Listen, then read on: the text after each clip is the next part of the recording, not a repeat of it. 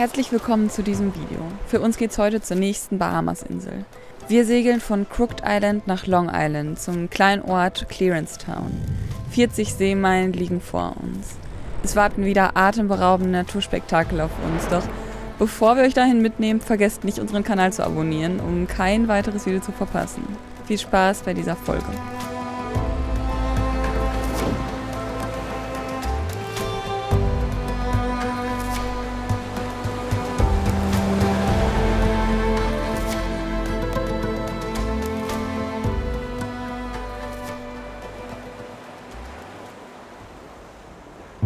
Wir starten früh morgens und ziehen noch im Windschatten der Insel die Segel hoch.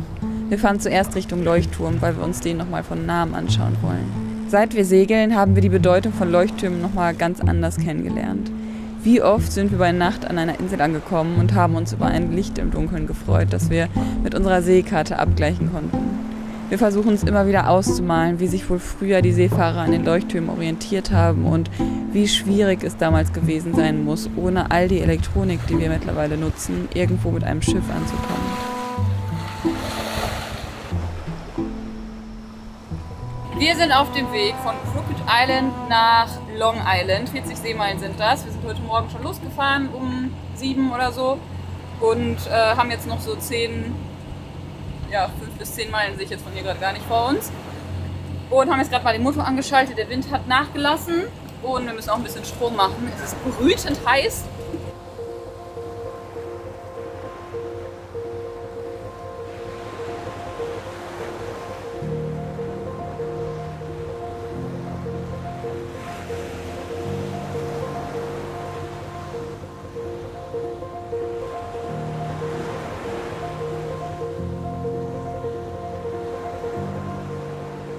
Auf jeden Fall kommen wir jetzt gleich auf Long Island an und das Highlight dort soll das Blue Hole sein. Das ist ein kleines Loch im Meer, was mehrere hundert, tief, 100 Meter runter tief geht. Das ist das zweitiefste Loch der Welt. Zweitiefste Loch der Welt und dort sind auch immer diese Deep Dive Events von diesen Apnoe-Tauchern. Und ich glaube, der Rekord liegt bei 110 Meter ungefähr und äh, da tauchen die immer runter. Mal gucken, wie tief wir kommen, aber ich habe schon richtig Lust, dass wir uns das angucken. Das ist bestimmt atemberaubend. Und jetzt so langsam können wir auch mal ankommen. Ist ganz schön schaukelig bei so wenig Wind jetzt hier am Ende. Und Motorfahrt bockt eh nicht, deswegen wird Zeit, dass wir jetzt ankommen.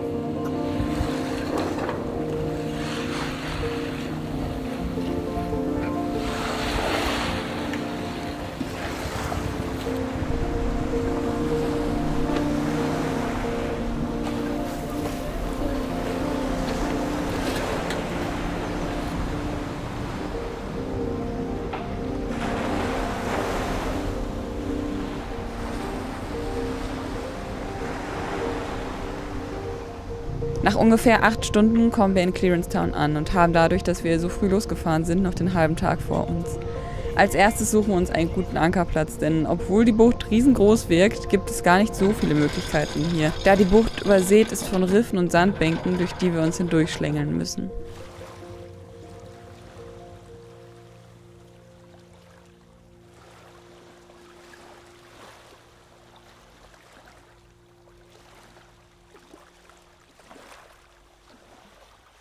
Und natürlich gibt es auch wieder den üblichen Ankercheck. Thilo gräbt den Anker meistens nochmal zur Sicherheit mit der Hand ein.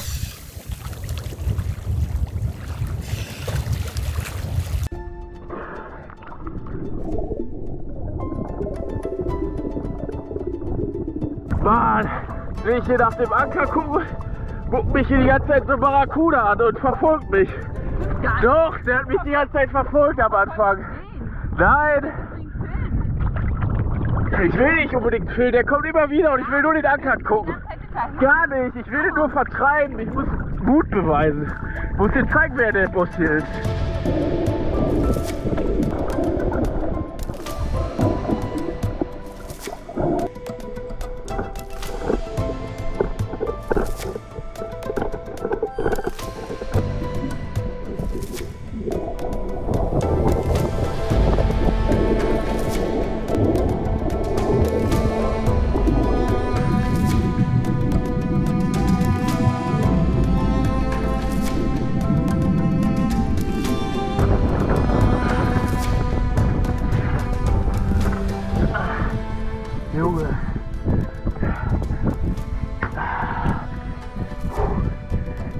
Ein bisschen aufgeregt. Da war noch ein zweiter am Ende wieder. Überall die Barracudas und vor denen habe ich am meisten Schiss. Weil die sind immer, kirschen sich immer an und verfolgen einen einfach. Und dann machen die den Mund auch so. Irgendwie habe ich Schiss vor Barracuda, ich weiß nicht wieso.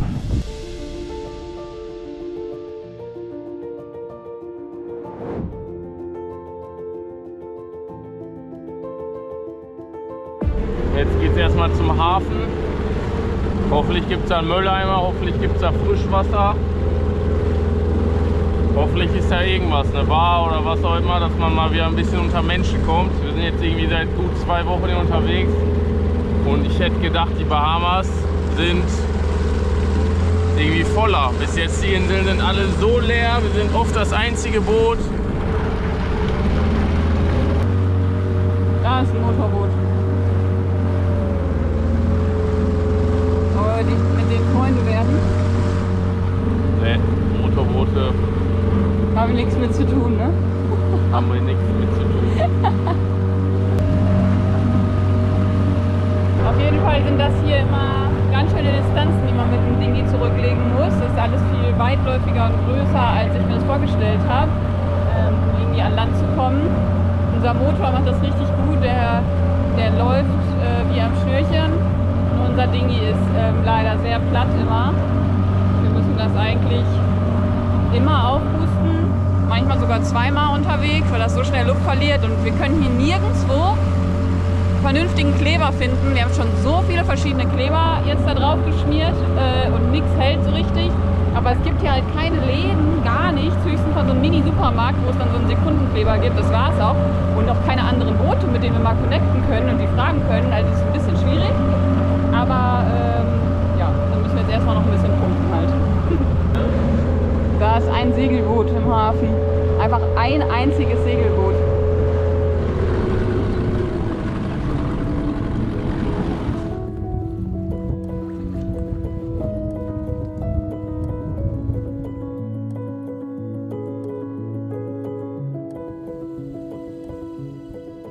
In dem kleinen Ort auf dieser Insel ist es sehr einsam. Wir treffen eigentlich so gut wie niemanden hier, mit dem wir mal ein paar Worte wechseln können.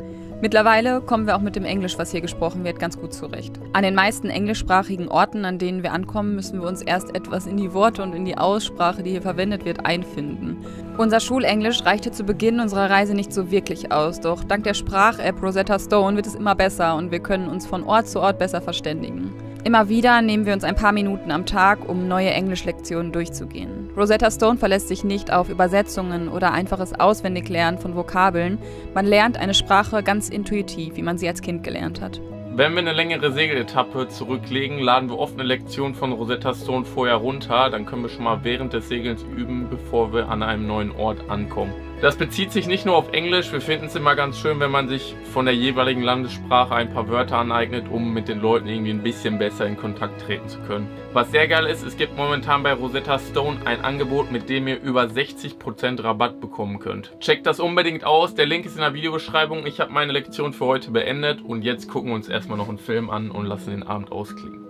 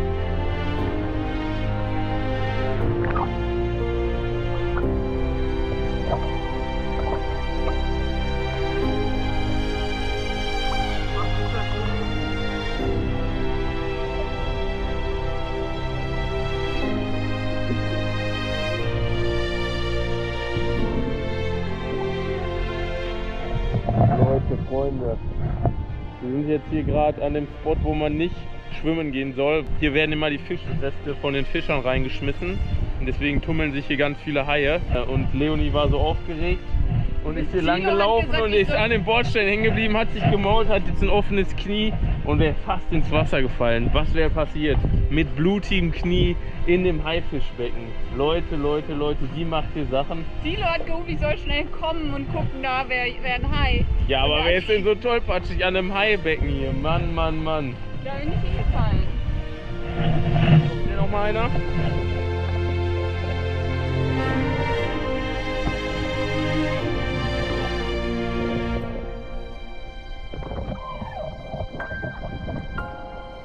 Vorsichtig, hier sind Haie. Unter dir.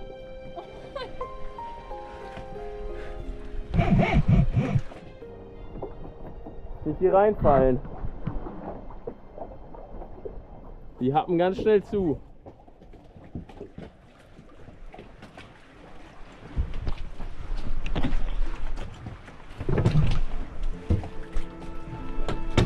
Vorsichtig mit dem Dingi da.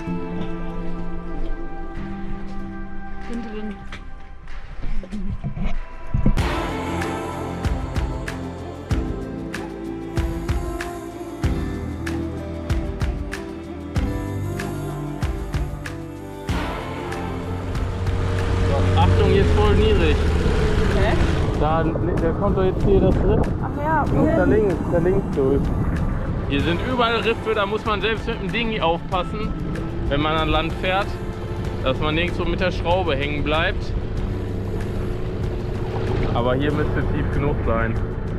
Und der Palmenstrand sieht gut aus und hoffentlich gibt es da ein paar Palmen, die wir uns, oh, die wir uns pflücken können. Mm, schönes Palmenwasser und Palmenfleisch. Ach, Kokoswasser und Kokosfleisch. Nur da anlegen.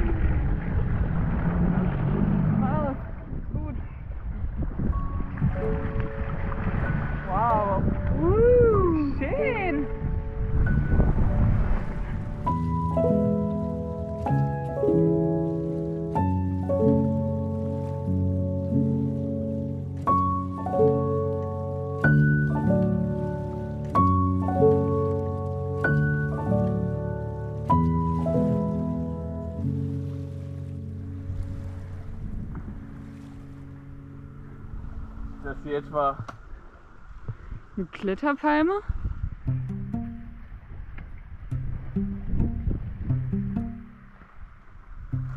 Nicht runterfallen, ne? Kilo. Alter, ich bin im Paradies. Achtung! Richtig süß, ne? Richtig, richtig geil. Mir auch noch mal einen Schluck. Ah. Es ist so lecker. Ich will auch noch einen Schluck. Leider leer, ich pflückte noch eine. Okay. Ah, Aber die jetzt, jetzt schlagen wir die mal auf, mal gucken, wie viel Fruchtfleisch da drin ist.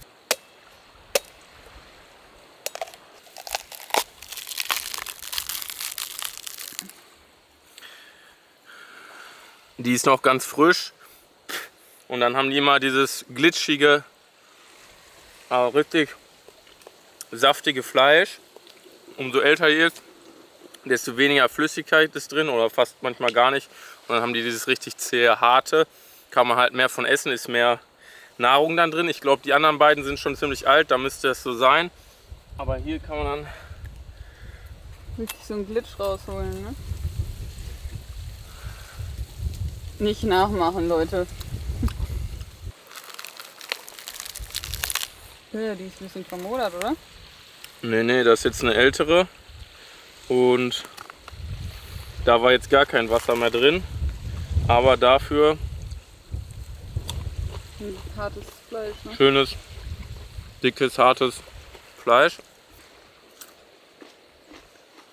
Ich finde das Glitschige besser. Auf jeden Fall Haben wir im Paradies. Im Hintergrund steht das Boot ganz alleine. Einsamer Strand, Palmen, wo man sich die Kokosnüsse von runter pflücken kann. Richtig niedrige Dinger, da kann man so gerade eben hochklettern und sich ein paar nehmen. Jetzt entspannen wir hier ein bisschen. Ich gehe gleich schnorcheln mit ein paar Haien und Fischen im Korallenriff da drüben. Leonie will mit ihrem blutigen Knie sich ein bisschen auskurieren, hat ein bisschen Angst jetzt schwimmen zu gehen. Ist auch verständlich. Man, muss, man muss es ja nicht provozieren. Ich will mich nicht auskurieren, ich will nur nicht die Haie anlocken.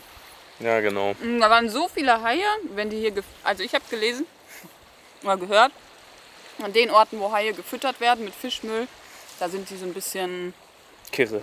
kirre durch die ganzen Leute und Menschen und vielleicht Touristen und durch das Futterzeugs. Und irgendwie gehe ich dann vielleicht nicht schwimmen. Okay, jetzt erstmal entspannen.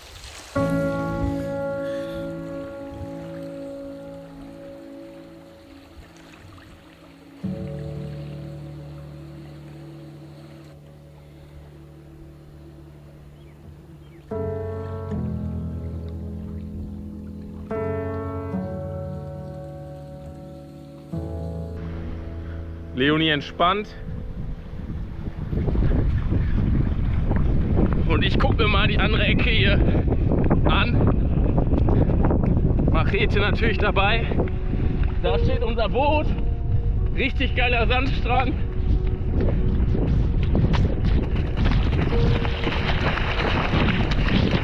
Mal wieder im Paradies. Leute, vor allem die jungen Leute spreche ich jetzt an. Es müssen mehr junge Leute segeln.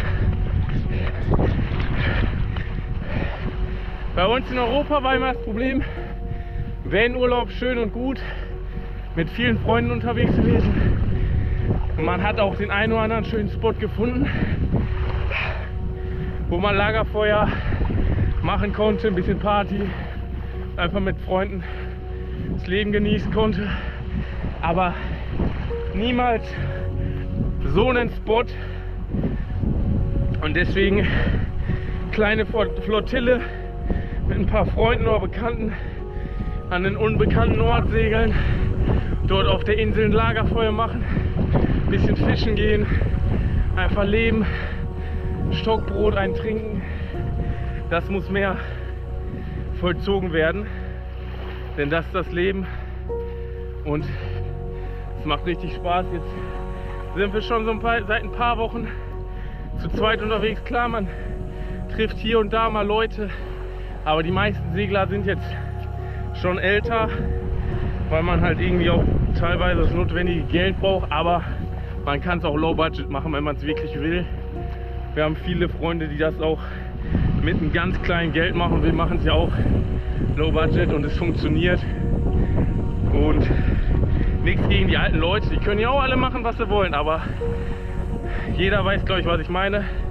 In jungen Jahren, dass es matcht und einfach hier auf Inseln. Deswegen. Aber ich freue mich schon auf Marti Luisa und so. Die treffen wir in ein paar Wochen und dann segeln wir zu viert oder vielleicht sogar zu sechst. Mal gucken hier die Inseln ab. Ist natürlich auch richtig schön.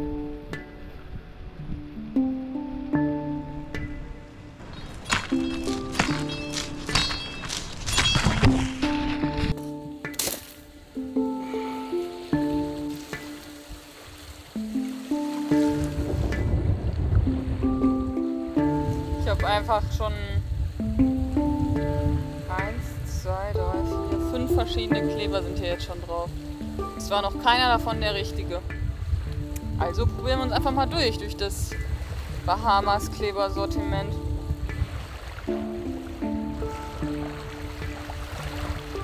Nächstes Thema: Schnorcheln. Mit den Haien ist natürlich hier ein Ding. Man muss respektvoll und behutsam tauchen gehen. Da bin ich der Meinung. Ah! Ah! Scheißstein. Da bin ich der Meinung, dann geht alles gut. Klar, man sollte nicht in der Gegend sein, wo die Leute die Haie füttern oder wo Fischereibetrieb ist und die die Abfälle reinschmeißen. Ich weiß jetzt nicht, wie weit man davon entfernt sein sollte. Da, wo wir heute Mittag waren, ist ungefähr ein Kilometer entfernt. Ich glaube, das sollte reichen, oder?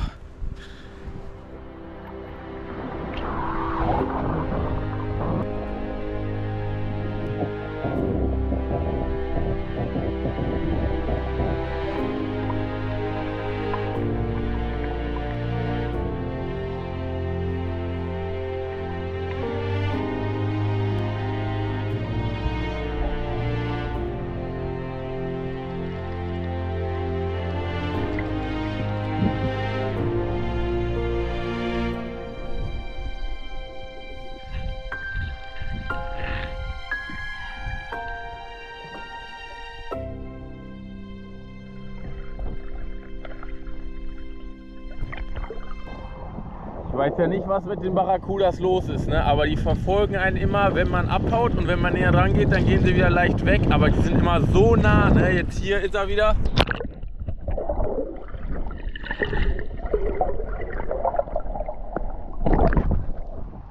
Der kommt einem immer hinterher. Ich verstehe nicht, was die von einem wollen. Dieser Ort ist schon wieder so unbeschreiblich schön und wir genießen trotz der Einsamkeit die Zweisamkeit. Im nächsten Video werden wir dann das Blue Hole, das einige Kilometer weit entfernt liegt, erkunden. Das ist einer der Orte, der von Beginn an auf unserer Liste stand und den wir unbedingt sehen wollen. Also, wir sehen uns nächste Woche. Wenn euch das Video gefallen hat, dann lasst uns einen Daumen hoch oder ein Feedback in den Kommentaren da. Bis dann, tschüss!